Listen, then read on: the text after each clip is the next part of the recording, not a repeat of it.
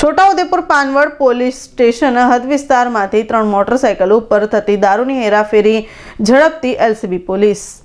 છોટાઉદેપુર જિલ્લો મધ્યપ્રદેશ રાજ્યની સરહદને અડીને આવેલો જિલ્લો હોવાથી બુટલેગરો જાજાતના કિમિયા અજમાવી ગુજરાતમાં વિદેશી દારૂ ઘુસાડતા હોય છે. ત્યારે પોલીસ વડા એમ એસ ભાભોરની સૂચનાથી ડીવાયએસપી એવી કટાકટના માર્ગદર્શન હેઠળ પોલીસ તેમજ એલસીબી સતત પેટ્રોલિંગ કરી વિદેશી દારૂ ઘુસાડવાનો પ્રયત્ન કરતા બુટલેગરને ઝડપી પાડે છે. તે રીતે છોટાઉદેપુર એલસીબીનો સ્ટાફ આજે પાનવડ પોલીસ સ્ટેશન વિસ્તારમાં સિંગલા ગામે જતા ત્યાંથી ત્રણ મોટરસાયકલ ઉપર લઈ જવાતા એક લાખ તોતેર હજાર આઠસો એંસીનો ભારતીય બનાવટનો વિદેશી દારૂ કબજે કરી ત્રણ મોટરસાયકલ ઉપર લઈ જવાતા વિદેશી દારૂની કુલ બોટલોનો અંગ ચારસો છપ્પન, કિંમત રૂપિયા એક લાખ તોતેર હજાર આઠસો એંસી તથા ત્રણ મોટરસાયકલ કિંમત રૂપિયા એક લાખ મળી કુલ રૂપિયા બે લાખ તોતેર હજાર આઠસો એંસીનો મુદ્દા માલ કબજે કર્યો હતો. અને પાનવડ પોલીસ સ્ટેશનને સોંપવામાં આવ્યો હતો, તેમજ ત્રણ મોટરસાયકલ સવાર બુટલેગર સામે કાયદેસરની કાર્યવાહી કરવામાં આવી છે.